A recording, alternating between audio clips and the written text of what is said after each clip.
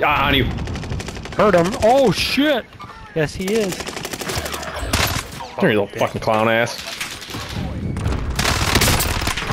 He stunned himself and then killed me.